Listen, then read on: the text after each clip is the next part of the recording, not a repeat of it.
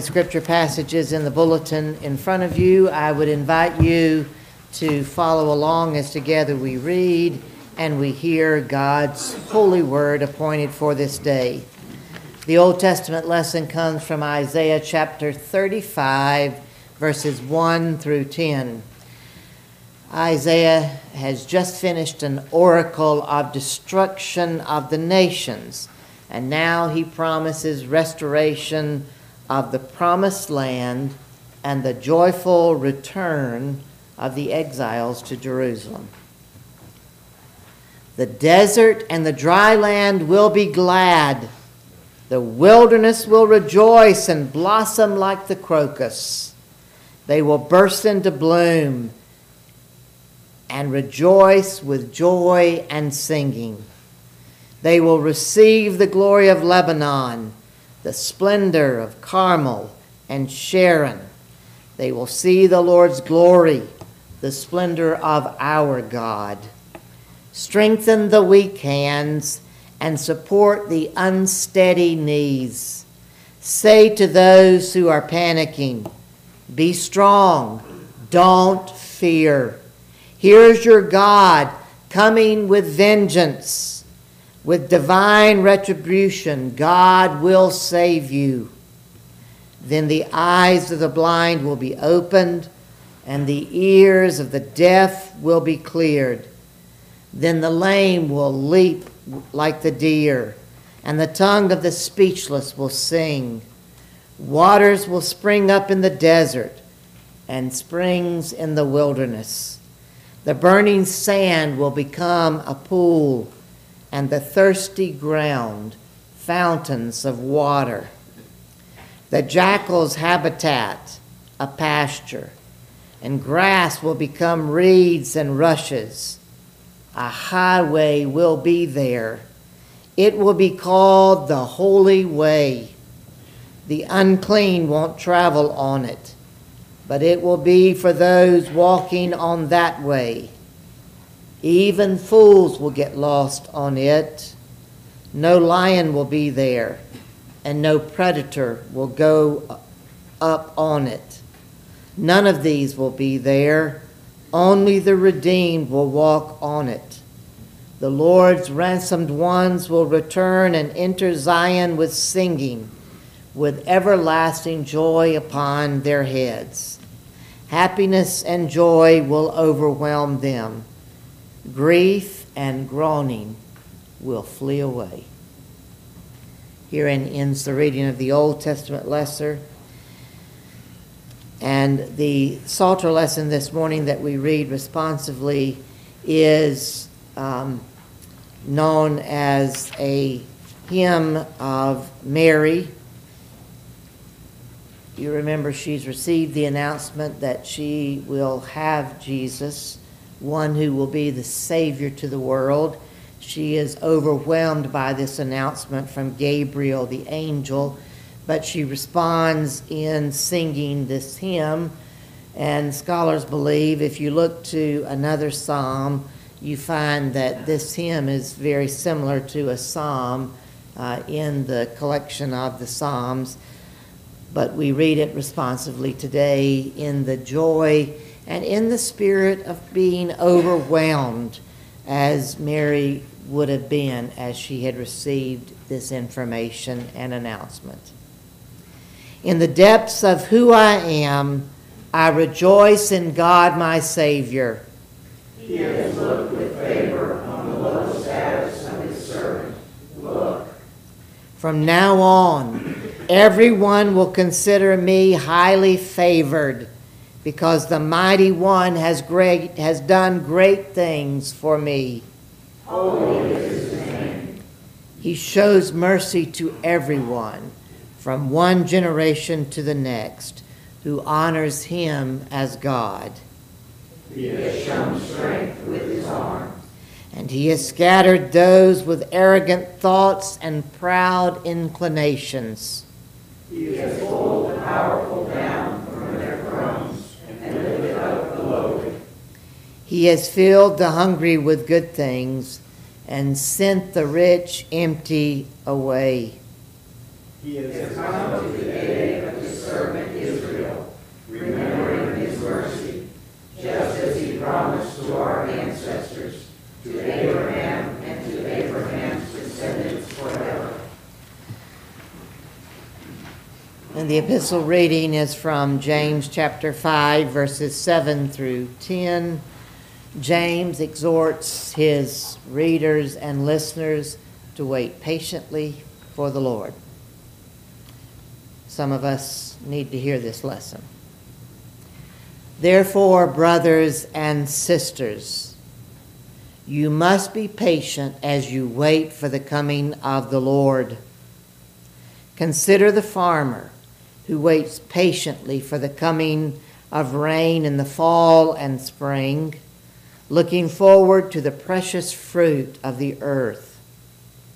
You also must wait patiently, strengthening your resolve because the coming of the Lord is near. Don't complain about each other, brothers and sisters, so you won't be judged. Look, the judge is standing at the door. Brothers and sisters, take the prophets who spoke in the name of the Lord as an example of patient resolve and steadfastness. Herein ends the reading of the Psalter lesson. Will you please stand for the reading of the Gospel? the Gospel lesson according to Matthew chapter 11, verses 2 through 11. John the Baptist, uh, as you know, during Advent appears twice, last week and today. He's been arrested, he's been imprisoned, he's discouraged, he has doubt. And so he sends messengers to Jesus to ask, Are you the promised one? Now, when John heard in prison about the things Jesus was doing, he sent word by his disciples to Jesus asking, Are you the one who is to come, or should we look for another? Jesus responded, Go report to John what you hear and see. Those who are blind are able to see. Those who are crippled are walking. People with skin diseases are cleansed. Those who were deaf now hear. Those who were dead are raised up. The poor have good news promised and proclaimed to them. Happy are those who don't stumble and fall because of me. Now, when John's disciples had gone, Jesus spoke to the crowds about John. What did you go out to the wilderness to see? A stalk blowing in the wind? What did you go out to see? A man dressed in refined clothes? Look, those who wear refined clothes are in royal palaces. What did you go out to see? A prophet? Yes, I tell you, and more than a prophet. He is the one to whom it is written. Look, I'm sending my messenger before you who will prepare your way before you. I assure you that no one who has ever been born is greater than John the Baptist. Yet, whoever is least in the kingdom of heaven is greater than he. This is the word of God for the people of Christ. Thanks be to God.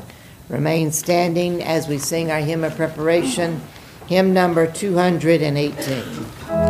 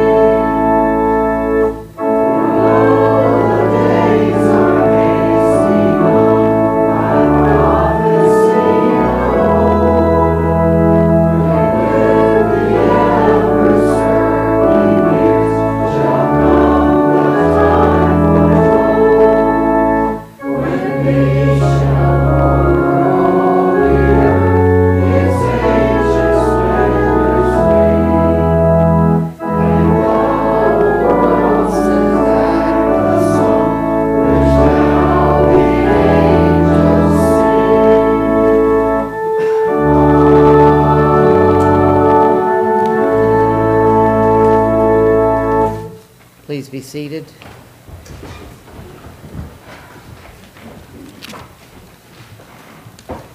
Let us pray.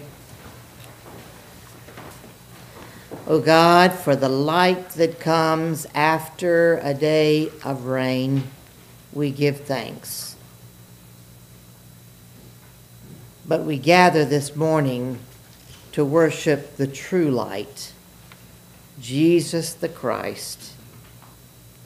And as we remember his coming into the world, and as we anticipate his return, may our joy be strengthened, and may we truly bear the light of Christ to the world. It is in the name of Christ we pray. Amen.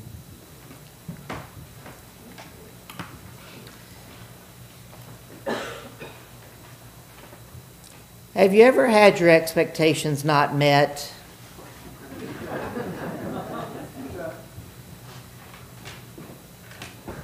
What happened?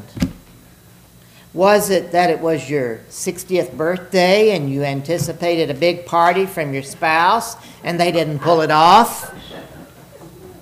Or was it that you had reminded your children multiple times, this is the gift I want? Nothing else, nothing less, nothing more. And when you opened the package, it was nothing close to what you had asked. In our household, it is, will you please keep stuff in its place? If you would give that as a gift, that would be huge. How about your expectations around God and what you have asked of God. And they somehow didn't seem met to you. Some of you will remember this because I remember reading about it. It made the AP press and remember being horrified. But a few years ago, a wide receiver for the Buffalo Bills, Steve Johnson, does that ring a bell with anybody? He voiced his surprise on Twitter when things didn't turn out the way he had hoped during, of all things, a football game. He dropped a potentially game winning touchdown pass. It was overtime. And the Pittsburgh Steelers won.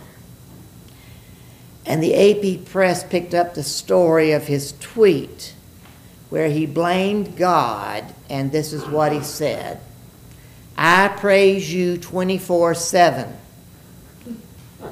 And this is how you do me? You expect me to learn from this? I'll never forget this, ever. Thanks, though. If any of us sitting here this morning think that the theology of praising God brings favor or brings reward, then our theology is not on line with Scripture. Maybe this football player ought to be commended for at least his honesty because the truth be told, many of us who are Christians have felt that way at one time or another when we thought we were in close communication, we thought we were praising God and living a life worthy of Christ. And then somehow our expectations weren't met.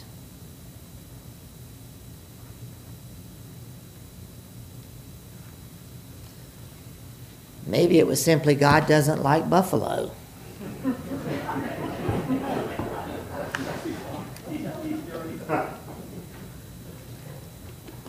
enough of that. In the New Testament, the gospel reading this morning, John the Baptist world had shrunk. He had been imprisoned. And John the Baptist had been so filled with righteous prophecy. He had preached of one who was to come. He had preached of one who was going to set the captives free.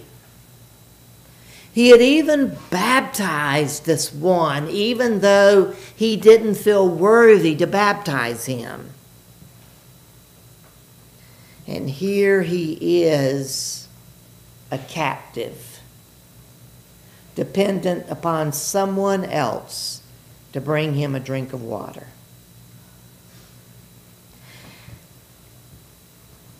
And while in his time of prophecy he was so sure that Jesus was the one, now with this time upon his hands, he wonders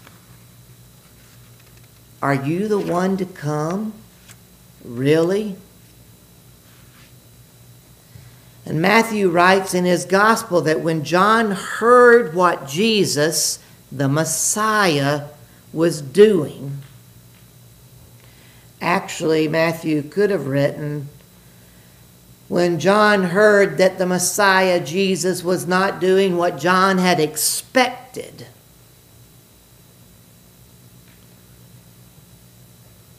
Somehow, John the Baptist had expected Jesus to follow the outline that so many other Jews had anticipated a step by step, successful plan for messianic ministry and the overthrow of the Roman government.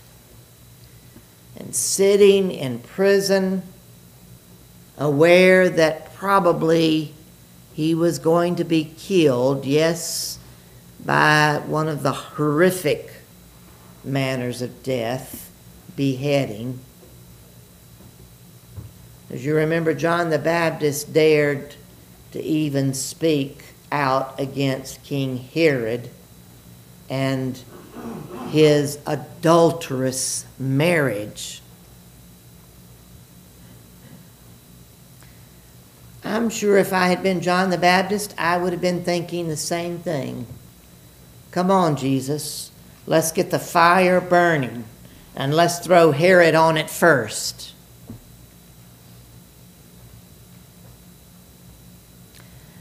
And John the Baptist knew he had preached, Repent, for the kingdom of heaven is near. Yet, facing tragedy in his own life, John the Baptist is hearing reports of Jesus pronouncing forgiveness, healing the sick, bringing good news to the poor. And so John the Baptist was somewhat uncertain, needed some assurance. And so he sends some of his friends who have been visiting him, obviously, to go and ask Jesus, Are you the one who is to come, the one we have hoped for, or should we continue to hope for someone else? Doesn't that sound like an honest question? Especially of someone facing his own death? And after all, John the Baptist in prison news traveling by word of mouth, had heard strange things, unexpected things. And so John the Baptist needed an answer. In the season of Advent, no doubt each of us sitting here this morning and Christians gathered around the world today we bring expectations about the Savior that we want. Some people want a Savior who breathes fire and brimstone and who points out what everyone is doing that is wrong. And others want a Savior who will champion our favorite cause. Or a God that we can be certain is on our side. And others of us want a gentle Savior who will walk beside us and comfort us and assure us of his love for us.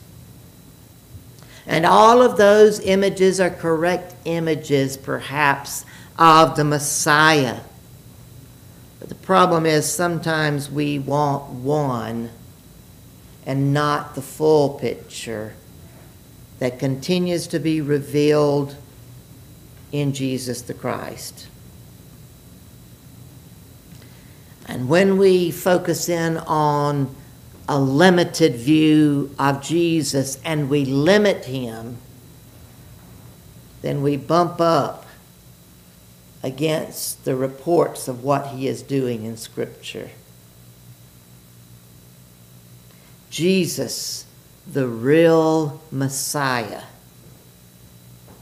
Lord, Shepherd, Friend, Redeemer.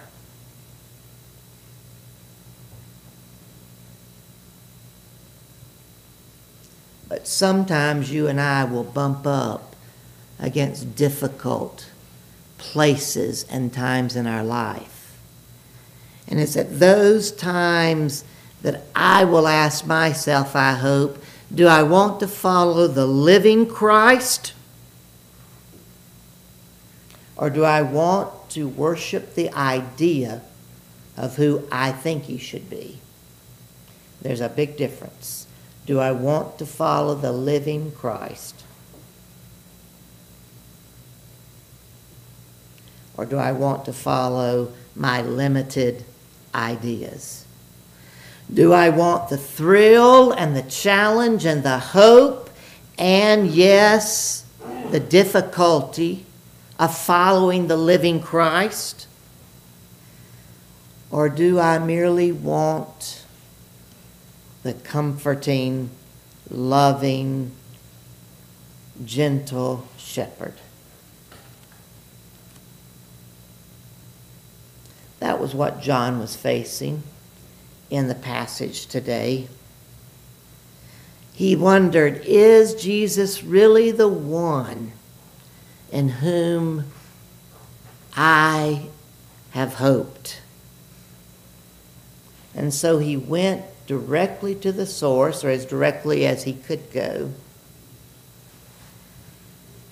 He sent his disciples, and instead of making assumptions, or staying in the dark. He had his disciples ask Jesus, Are you the one? And you and I, during Advent season, are invited to do the same. To go with our questions, our concerns, our wondering Are you the Messiah? Are you the one who came into the world to save me from my sins?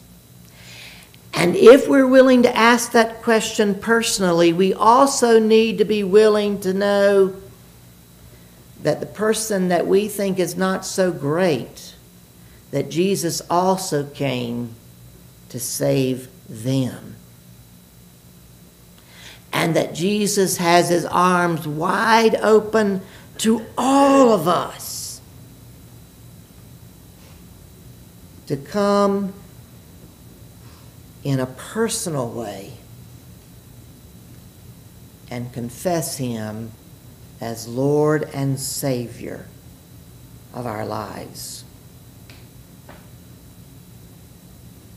But I have a problem in how so many today confess Jesus as Lord and Savior, wear a cross around their neck, and they never gather in Christian community. Church and the community of faith is low on their priority. Study of Scripture is very low on their priority. Prayers are limited to self interest. A transforming relationship with Jesus takes us from that kind of beginning infancy to a place where we participate with others in worshiping God, praising God, and proclaiming Jesus Christ as Savior of the world and living it so that others see Jesus in us. I just got an amen out of Ruth. Do you want to say amen louder? Amen.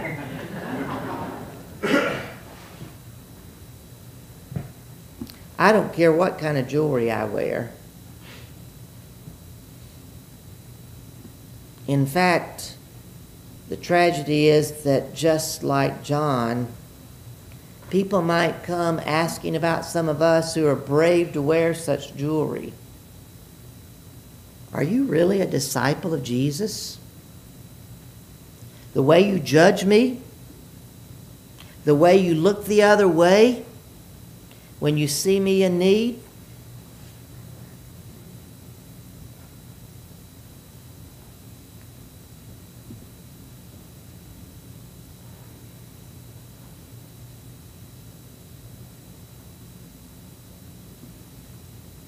maybe sometimes Jesus doesn't give us what we ask. He gives us the fire of the Holy Spirit. He seeks out sinners. He forgives them. He even lets the unworthy receive His grace. Grace upon grace. John struggled in prison to see this new, in-breaking work of God in the Messiah, the promised one of Jesus. And who wouldn't, locked away in a prison cell, facing death? So he asked. And in the reply that Jesus sent to John, John and all of us get this beautiful message a message of joy. The blind receive their sight, the lame walk, the lepers are cleansed, the deaf hear, and the dead are raised, and the poor have good news brought to them.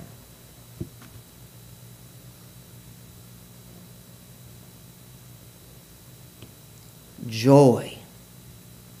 Rejoice. Joy. For Jesus the Messiah is among us and working even this day. In the name of the Father, and of the Son, and of the Holy Spirit. Amen and amen. I would invite you to continue and worship with me as we take our hymnals and turn in the back to respond to our statement of faith, which is on page number 883. Will you stand as we affirm what we believe using this statement of faith from the United Church of Canada? We are not alone. We live in God's world.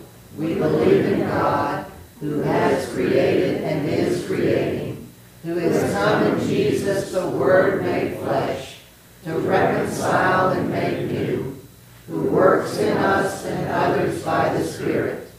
We trust in God. We are called to be the church, to celebrate God's presence, to love and serve others, to seek justice and resist evil, to proclaim Jesus crucified and risen, our judge and our hope. In life, in death, in life beyond death, God is with us. We are not alone. Thanks be to God. Amen.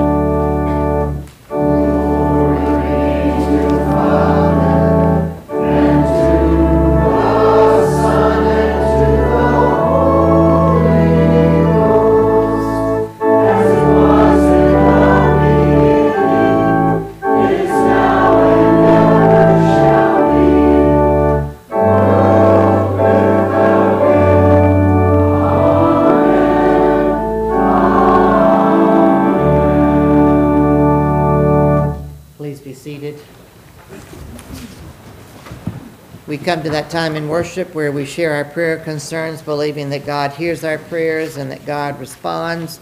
I have several um, praises and prayer concerns to share with you. I'll start with some praises.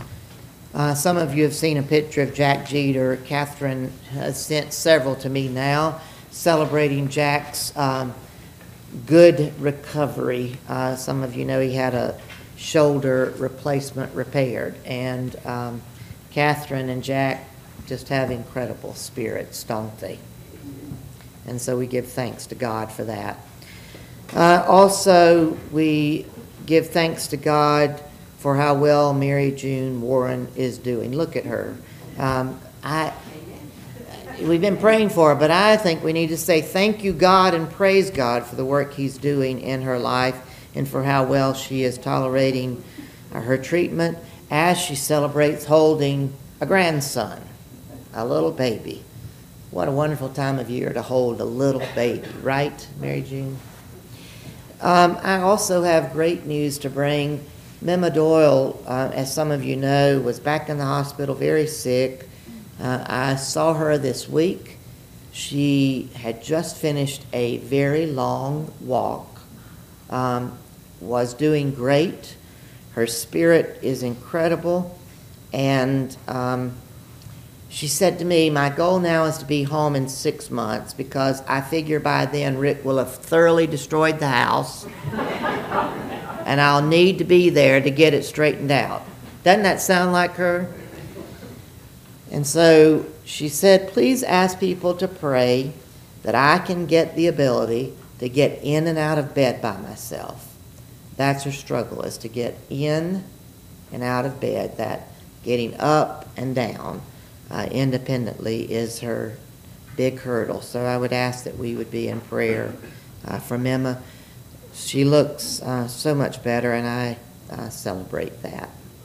Also, another celebration uh, Margaret um, Smith sent me an email this week about John Horton, and she said, We are praising God because today, when John Horton took the bandage off, there is no wound anymore. It's completely healed. And she said, We're waiting now. He doesn't take any more antibiotics. We're waiting to go back to the doctor. They're not doing weekly uh, blood draws to see what his levels are for his white blood cell count. We go back to see the infectious disease doctor in January, and we are praying for a full and complete recovery. And some of you who work in healthcare know that is miraculous. So praise be to God.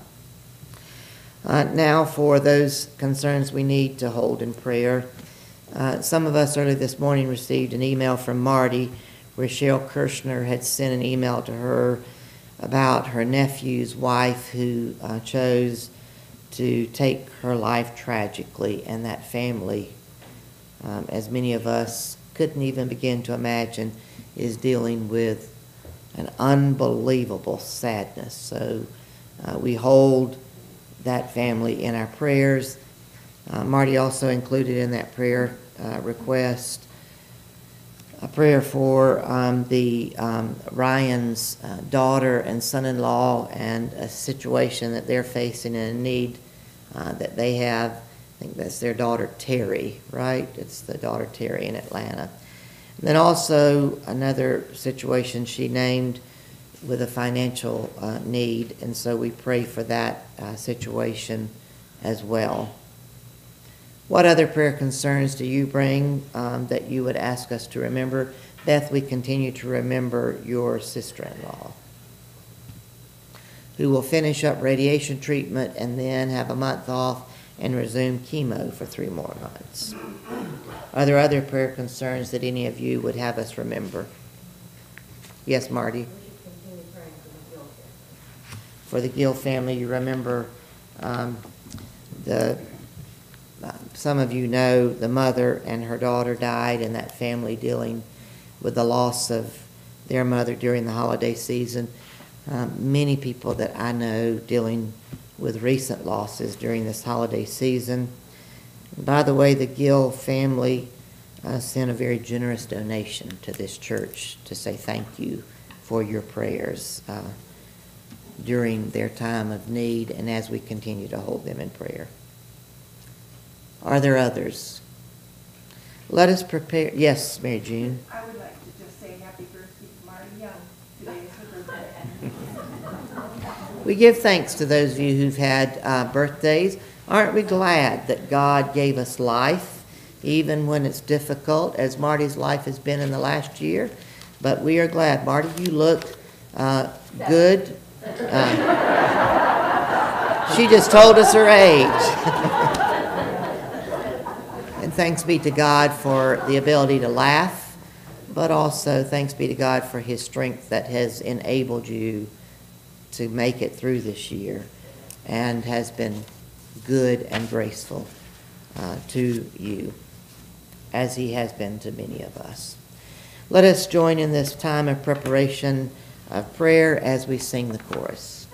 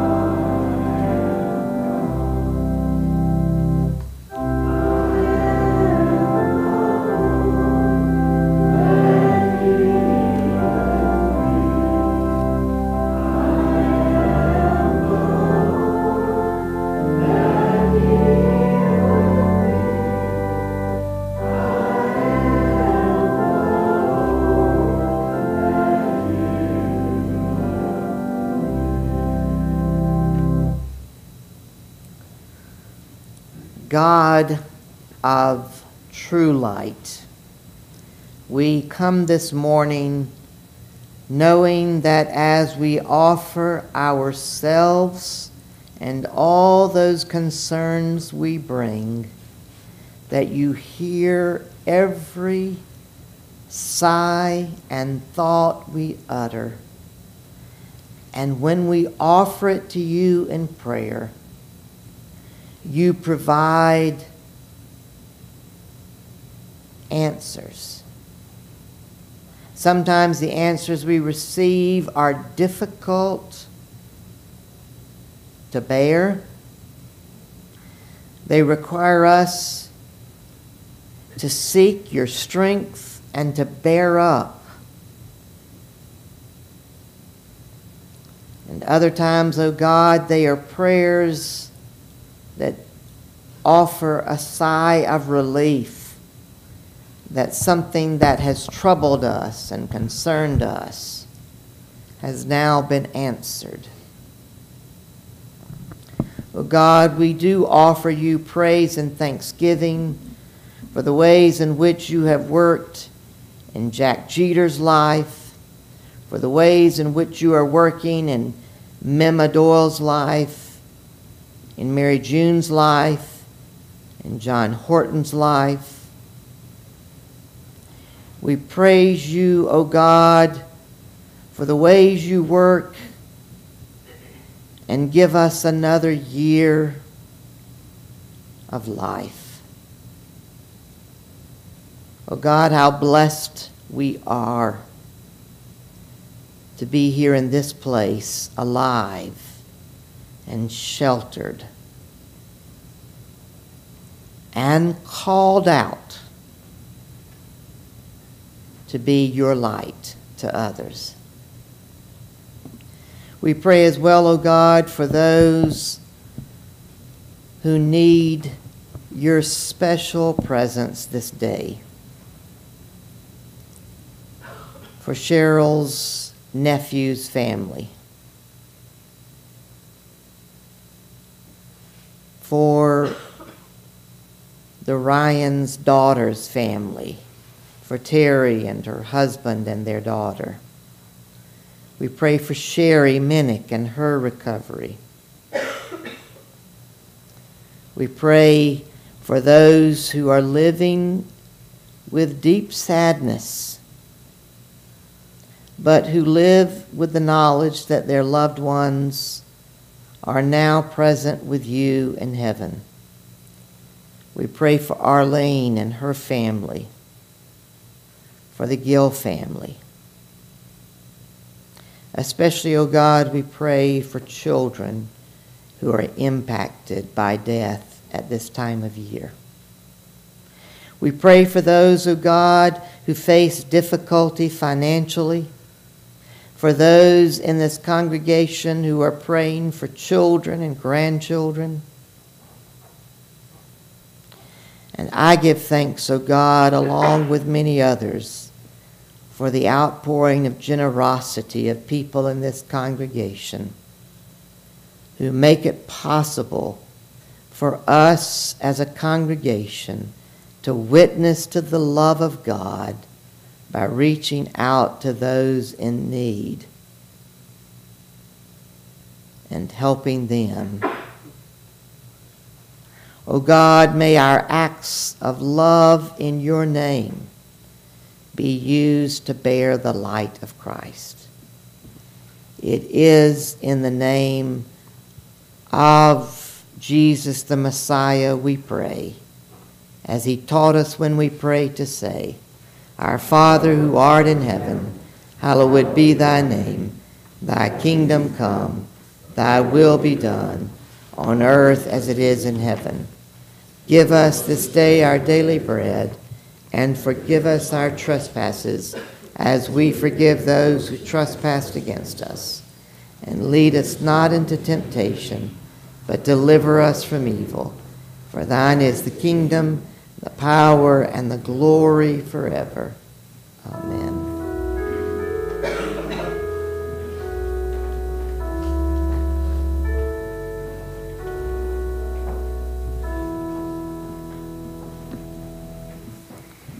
We continue in worship as the ushers come forward to receive our tithes and our offerings.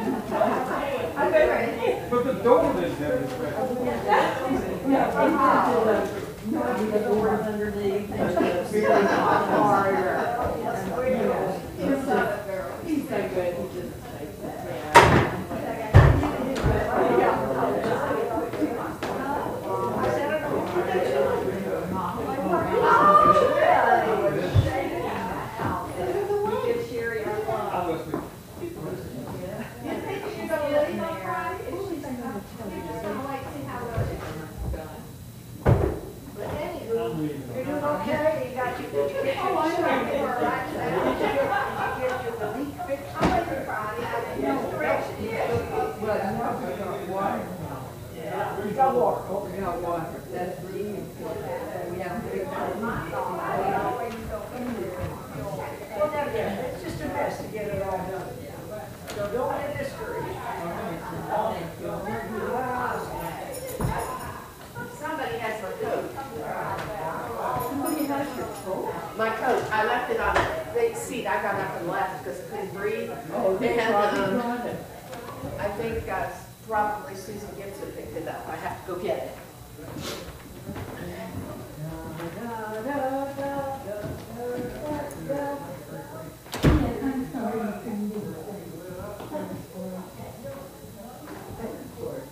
you go. You know what I'm talking Yes.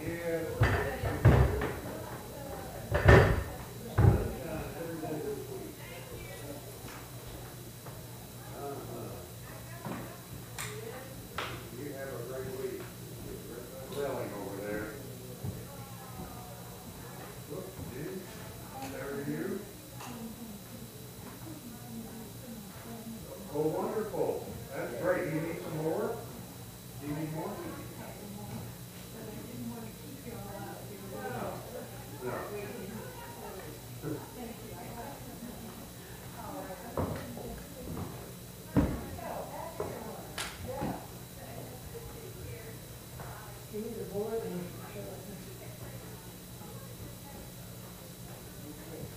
Okay, you got the master switch, push that faster switch